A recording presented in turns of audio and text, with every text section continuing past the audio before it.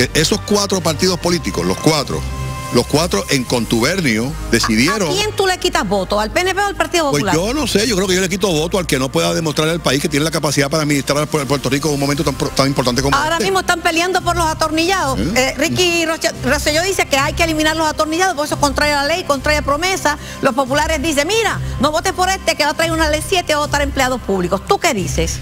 que el problema de los atornillados y el problema de los despidos es la excusa que tienen los partidos tradicionales para no tomar las decisiones que tienen que tomar, de reducir el gobierno, de entrar en la regionalización municipal y de hacer las cosas que hay que hacer.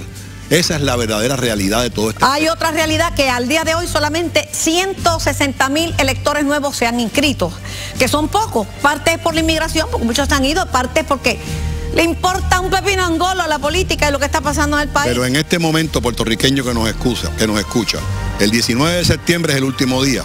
Inscribirte y hoy más que nunca tu voto representa un mensaje claro de que lo que nos trajo hasta aquí no es capaz de llevarnos al próximo nivel. Manolo, hablamos el jueves, después que gusto. esté la vista y nos deja gusto. saber en qué quedó. Estoy debidamente emplazado. Muchas gracias, Carlos.